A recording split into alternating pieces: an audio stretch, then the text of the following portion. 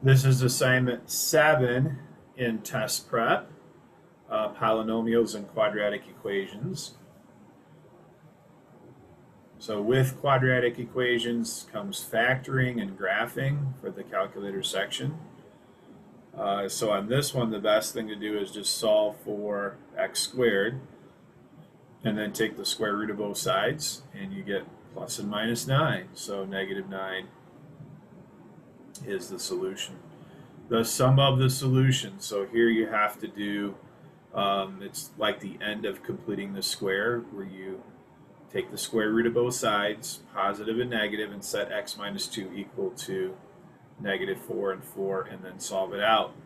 And then you have to sum negative 2 plus 6. Okay, then which of the following is true? Number 3, factor out the x, so x times x plus 8. So 0 and negative 8 are the two zeros.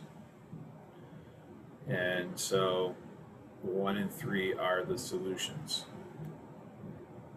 Product of the solutions on 4, so you need to factor it out, set them equal to 0, and you get 7 and negative 3. So that product is negative 21. And for some reason I whited this out and never wrote in negative 3 again.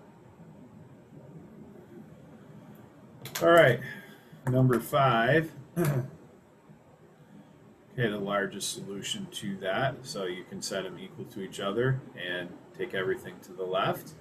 So negative 3 and negative 4 when you factor it out.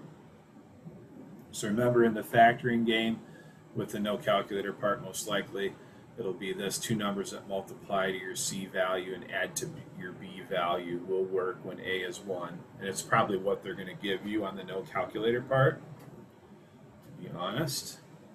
Uh, number 6, so you want to simplify, take everything to one side, and same idea, factor it.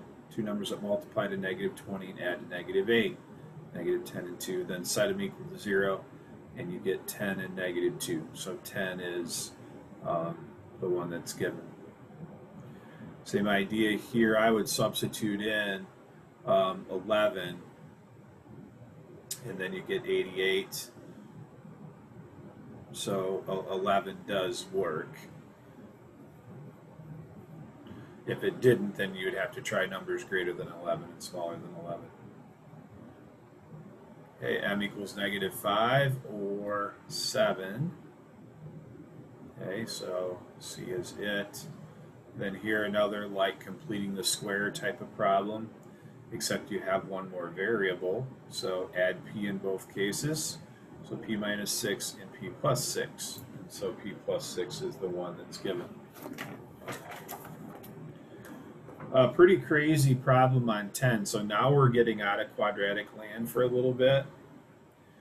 And so here you need to do work where you get x cubed over y cubed. How is that done? Well, it's about getting the problems that can the, the terms that contain the y to the third on one side of the equation. So add the 2a y to the third and subtract the x cubed over. Then factor out a y to the third and factor out an x to the third and then you're going to divide both sides by y to the third times 2a minus 1 so that you produce the x to the third over y to the third.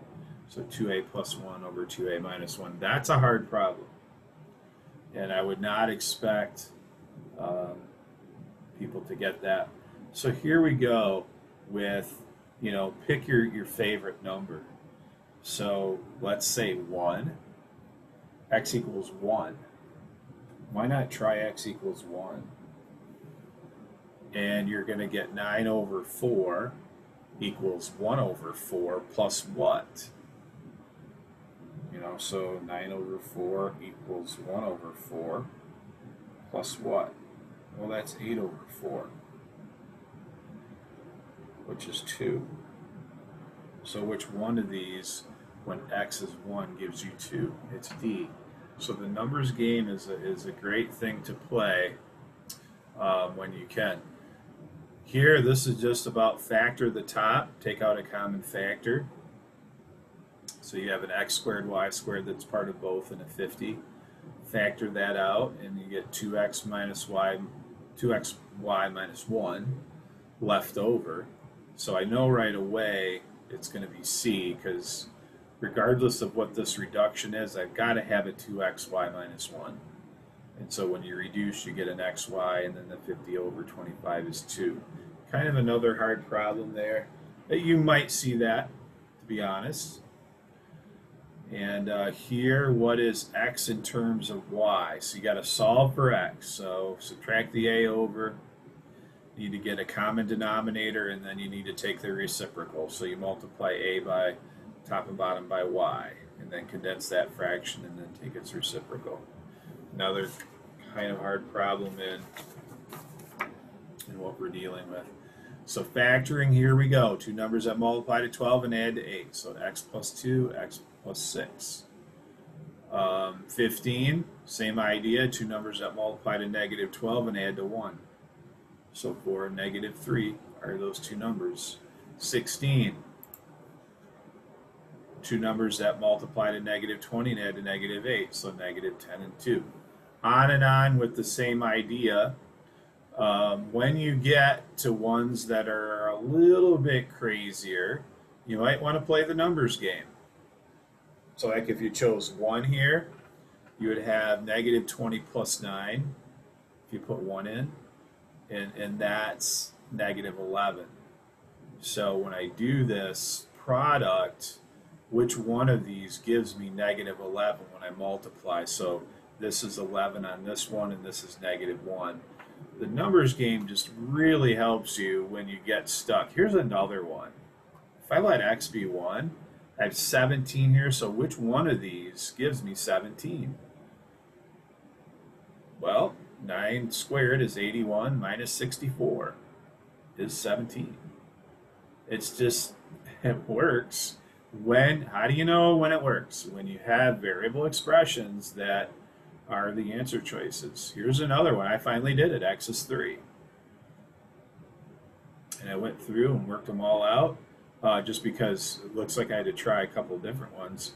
Um, this one gives you negative 12, 36 minus 48. So which one of these gives me negative 12 when I let x be 3? So 1 minus 4 on the inside here, negative 3 times 4. Yeah, try numbers. They really do work. So factor, and then that's sides of a rectangle. So you got to put them all around there and add them up. So 4x plus 9 plus 9. Okay, so 3w by w. Increase by 5 and by 2, the, the length and the width. So take the product out and then simplify the 6w plus 5w. Very interesting problem there. And then another problem, you can use the numbers game on. Let x be 1. So this is 8 divided by 4 is 2, remainder 0. It's 0. Um, yeah, so a lot of times the numbers game works. And that is assignment 7 in test prep.